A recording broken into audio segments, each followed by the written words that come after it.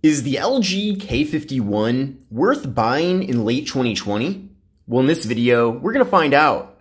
Hi everyone, this is Kevin here, and this is the LG K51. Now this device has been very popular on my channel ever since I started covering it in late spring of this year. Now actually, this variant of the phone is the factory unlocked variant. I did just sell my Boost Mobile K51 because we now have the unlocked model available. Now I know that this phone has been very popular on the various carriers, and for the most part, I would recommend checking in to see what they're offering this phone at first before getting the unlocked variant. But if you do want the maximum flexibility, then at least we now have an unlocked option for this device. Now to see the most up-to-date pricing for the unlocked LG K51, I will be leaving a link in the video description. Prices always change and there's always different promotions going on, so definitely make sure to check that out see what it's currently at. Now before we get into the details about whether or not you should still get this phone at this point, let's give a quick tour of the box and I'll show you everything that comes included. So here is the box for the unlocked variant of the phone. Now if you do get it from Boost Mobile, you're gonna be getting a very large orange box and if you get the phone from Metro, then I believe the box pretty much looks the same. But taking a look to see what is included here, so we have a quick start guide. We also have a SIM card removal tool in this packet. We have a USB wall adapter with LG branding on it. And the wall adapter is 10 watts. You can find the wattage by taking the volts and multiplying it by the amps. So this is 5 volts and 2 amps. So that means it's 10 watts. And then we have a USB-C cable for charging and data transfer. Now getting back to the actual LG K51 itself, this phone has surprisingly been a very popular device for LG. And the reason why I know that is because the content that I've already put out about this phone throughout this year has been very popular. In fact, some of my most viewed videos that I've put out this summer are related to the LG K51. So clearly, LG has been doing something right with this phone if so many people are interested in getting it. Now, one reason why it has been so popular is because the prepaid carriers especially have been offering some very good deals on it as I mentioned earlier on in this video. I know that for a little while, Boost Mobile is offering this phone for free if you're switching in from a different carrier. And I think they've moved on to apply that deal to other phones now, but even with that being said, and again, I don't know what the current deals are for the phone, but I would say to make this worth it, it does have to be on sale, so definitely make sure to see. Now this device does have some flaws, which I'll get into in a second, but I do want to go over some of my favorite features about it, especially now that I've spent roughly six months with the phone. The first thing I like about it is the display. The display with this phone, despite being 720p, actually looks really bright and clear. Now the display is an LCD display, and that's actually one of the reasons why the bottom bezel is so thick.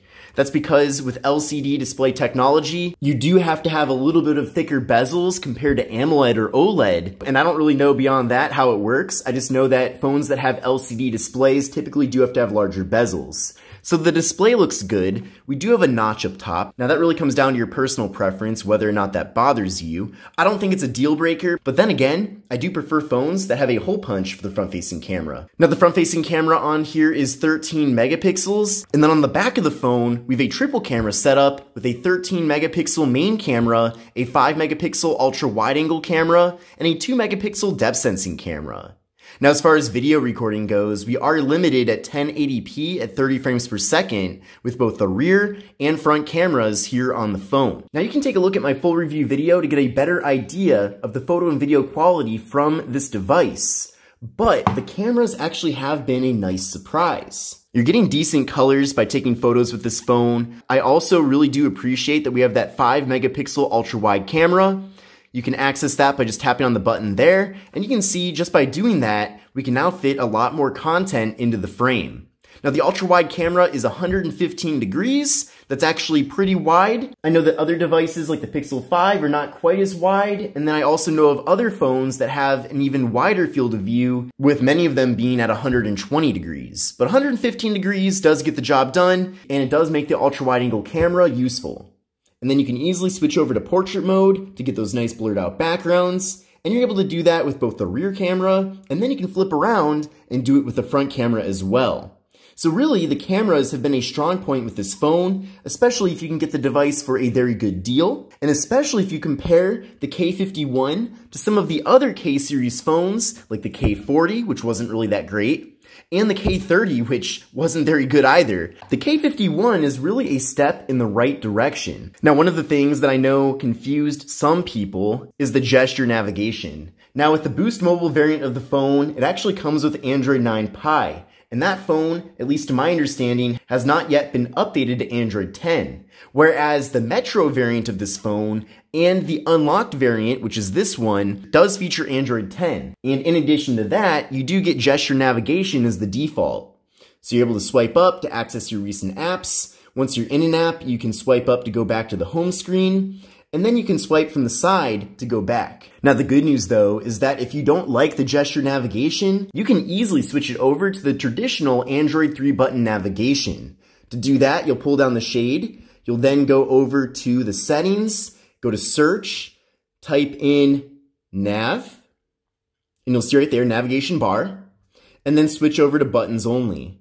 Then you can see right now, we now have the three button navigation. So the middle button takes you to the home screen, of course the back button takes you back, and then the square button off to the right takes you over to the most recent applications. Now I do prefer the gestures, but something that was interesting that I saw in the comments of one of my previous videos is that somebody literally returned this phone because they didn't like the gesture navigation and they didn't realize that you can easily switch over to the three button navigation. So if you are one of those people that currently has this phone and you don't like the gestures, definitely keep that in mind that you can easily switch over to the three button nav. Now I do feel like LG probably should have kept the three button navigation as the default since that's a little bit easier, especially for people that are used to using other Android devices that maybe don't even have gestures. And then still keep the gestures as an option for power users that do want to have that. But that's what I would do if I ran LG, but I don't. Now the device is completely made out of plastic. We have a plastic band running around the sides of it, and then the back is plastic as well. But I've got to say, despite it being plastic, everything does feel nice and solid. It does feel decently premium. Of course, it doesn't feel like a flagship, but it doesn't feel like a low quality device either. Now on the left side of the phone, we have the volume up, volume down. We also have the button for Google Assistant, which I don't use personally. Then on the right side of the phone, we have the power button and we have the slot for the micro SD card and SIM card.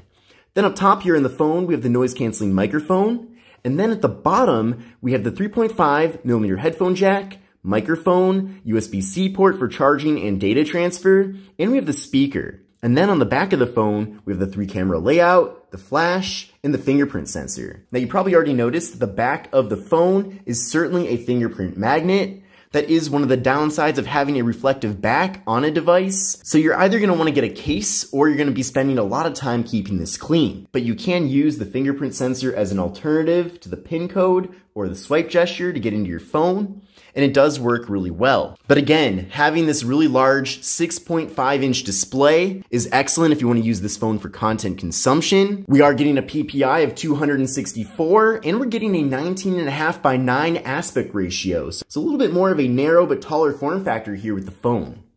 Now with this device, we're getting 32 gigabytes of internal storage, and you also get microSD card expansion. Now, like I said, I recently sold my Boost Mobile LG K51 and then bought this unlocked variant of the phone, so I haven't done too much with this device since getting it. I have installed some of the applications that I use most often, but you can see after doing that, I've managed to fill up over half of the space on the phone. So of course, a good chunk of that is the system software, so the operating system and everything else. But the point is, is that you're definitely going to want to get a micro SD card to pair up with the phone because I feel like you're going to go through the remaining 16 gigabytes or so of storage very quickly. Now with this phone, we're getting 3 gigabytes of RAM, which is pretty decent, and we're getting the MediaTek Helio P22 processor. Now that's where we start to run into some issues. Now, I don't really mind MediaTek processors. I do know that Qualcomm processors are typically more desired by smartphone users, but MediaTek really has come a long way.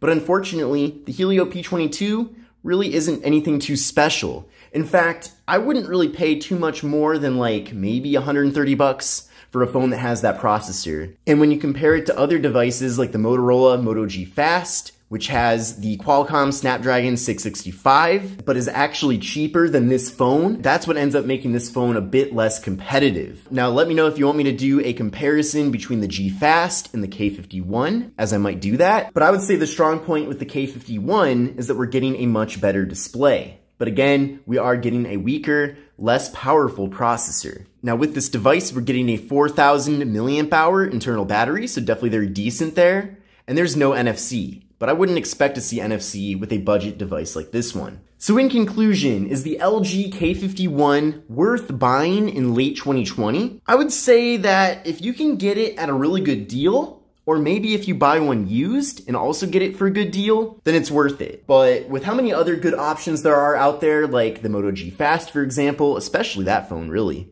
because that phone can pretty much do everything this phone can do, but it has a more powerful processor. You know, having those other options does make this device a little bit less desirable. But again, it does come with some interesting features, and I would say that the signature feature with this phone that really does make it stand out is this really large, good-looking display. But I'm really curious to know what you think.